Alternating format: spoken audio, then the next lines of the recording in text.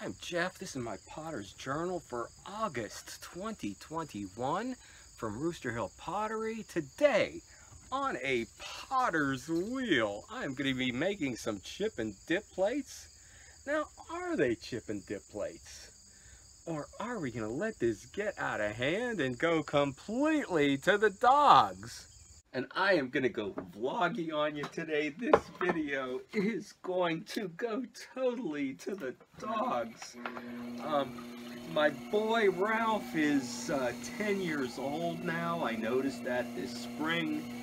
And um, officially, yeah, seeing him now as an old boy. Well, my old boy gave me quite a scare last week. I almost didn't get a video up I, he came around the corner at one point and was just gasping for breath. It sounded like maybe he was choking on something. Going, and uh, maybe, oh, I'm sounding worse than he did. But um, I'm thinking maybe, yeah, choking on something. Maybe because my last Ralph um, pretty much did get something stuck in her throat. Uh, this was back in the 90s when uh, I was able to take her directly to a vet on that day. Well, nowadays you can't get into a vet's office in a day, and I don't know that um, they all do x-rays, but um, he had me panicked. Um, it was anytime he slightly exerted himself, he was having trouble breathing. Well, actually, the old Ralph, um, she I sat up with her an entire night and she could hardly breathe.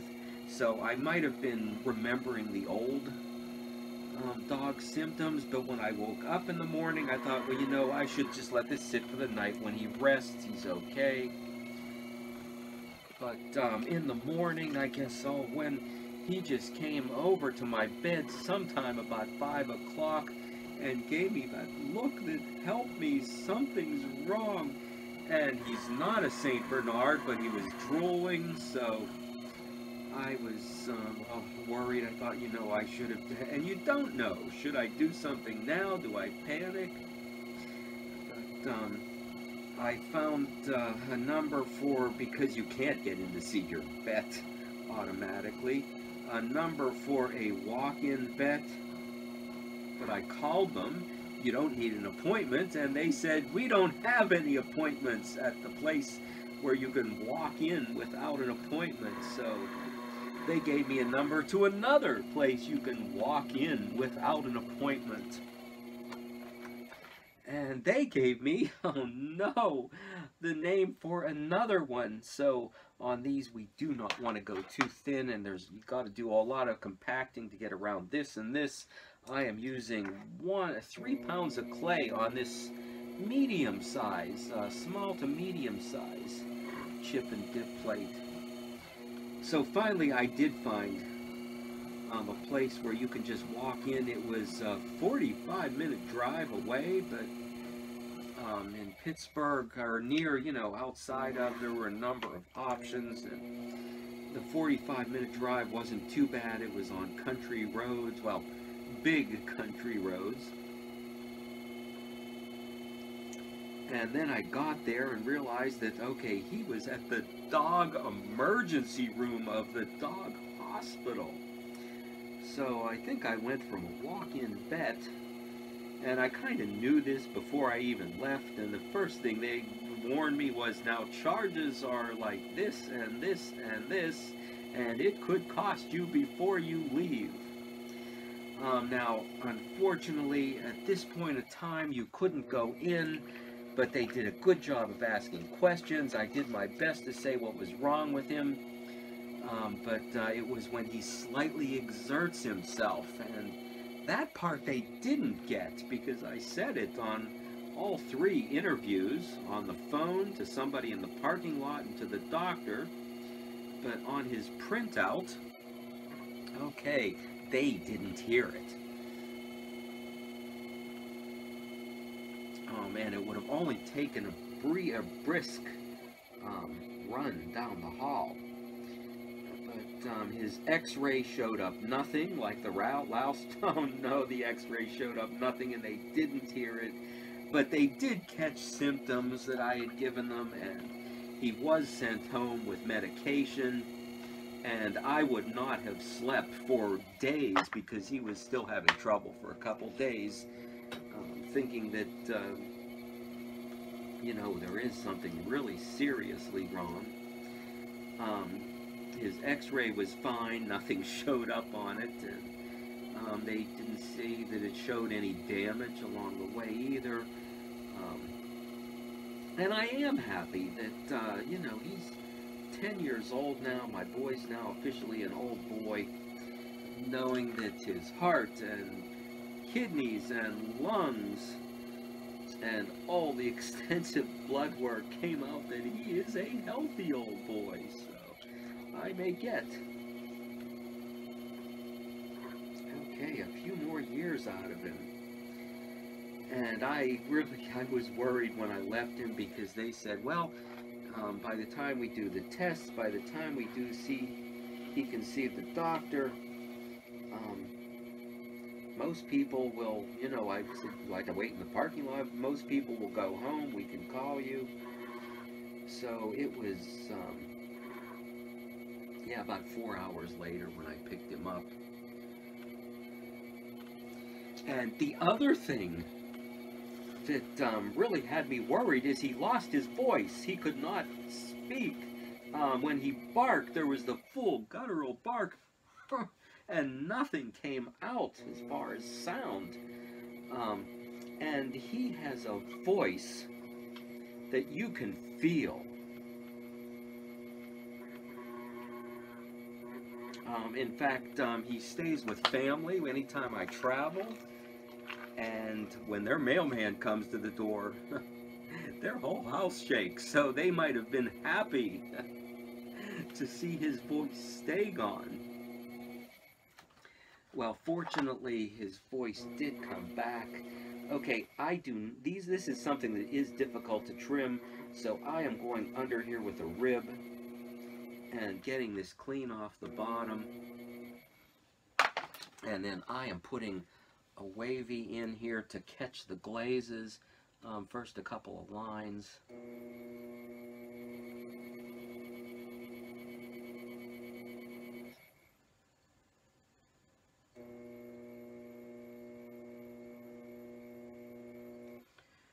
Okay, and that one flopped. Oh no!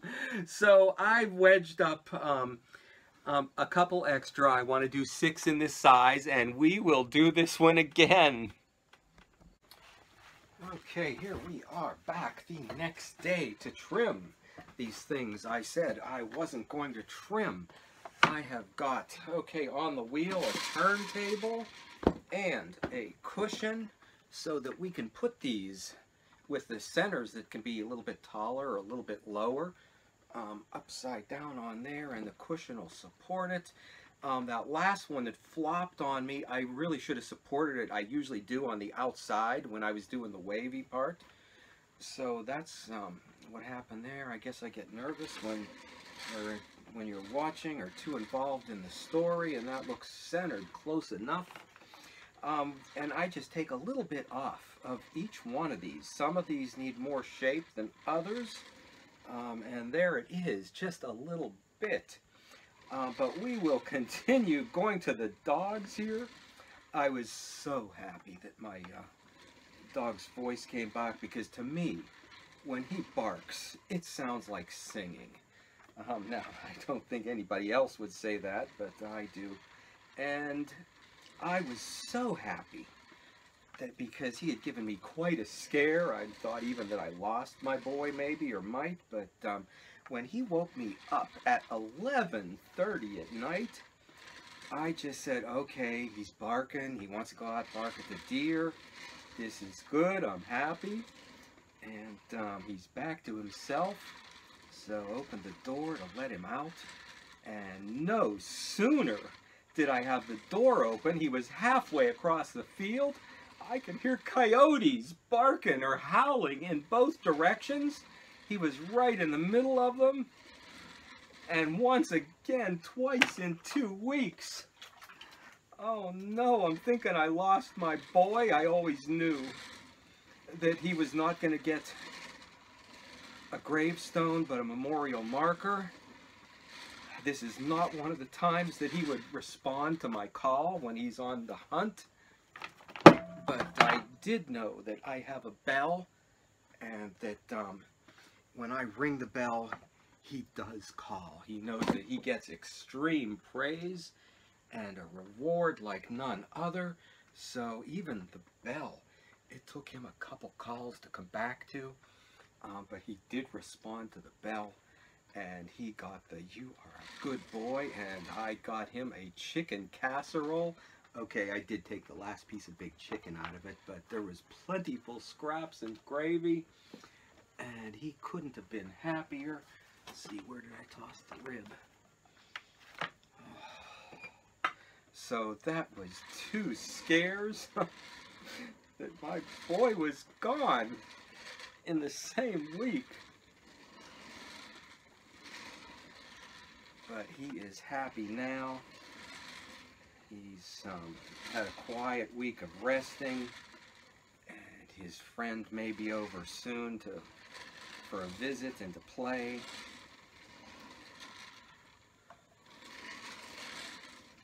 Okay, and you know, this is a trick that um, you're not going to see anywhere else, so do like, comment, and subscribe.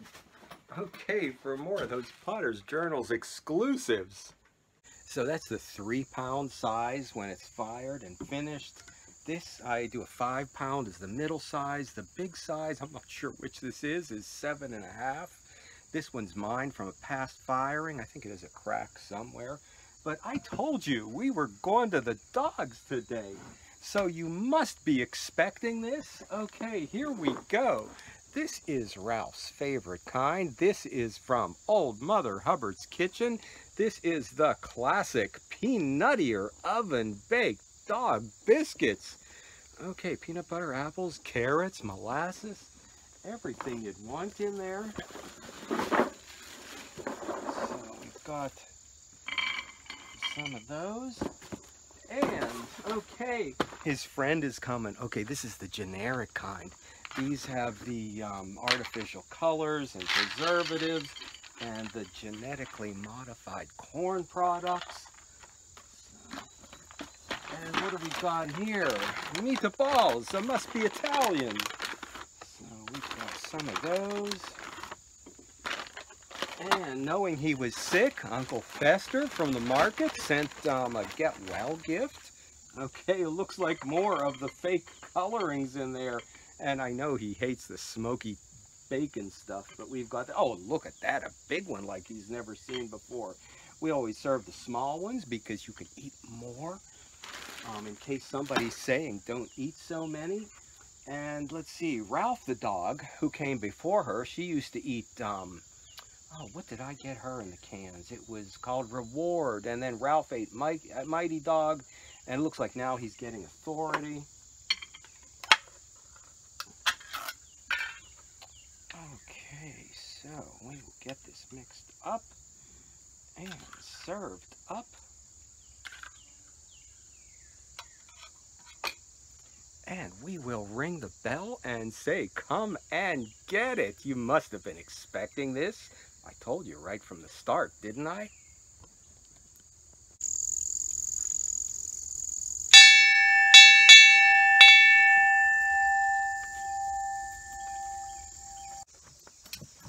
Hey, look at this. Look at this. We'll take care of your friend first. There you go. Okay. Oh, you gotta think about it, huh? Don't worry, you got the peanut buttier ones. Oh, oh, Tex. Oh, well, you're a big dog. I guess, I guess, I guess we'll get you the big one. we don't know where it came from. Okay, here's here's the good ones. Here's the good ones.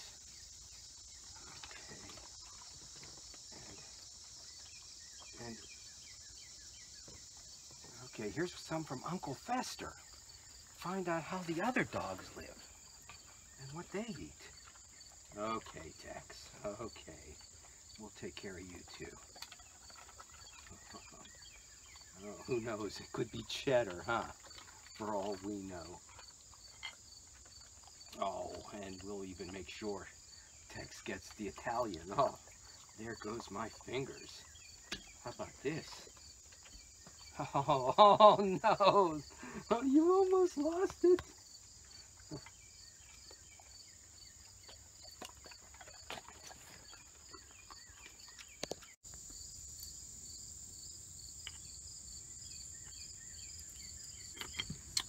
Okay, take care of your friend. Be good to your guests. Be good to your guests. Okay, and there for the good host.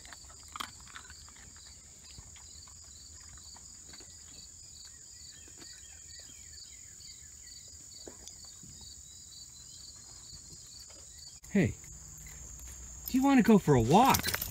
Huh? Do you want to go? Do you want to go? Let's go. Come on. So how you like your doggy get well party? And you know, you, your owner doesn't like you getting too much. So fortunately, they'll be out of town. And they hopefully won't even see this.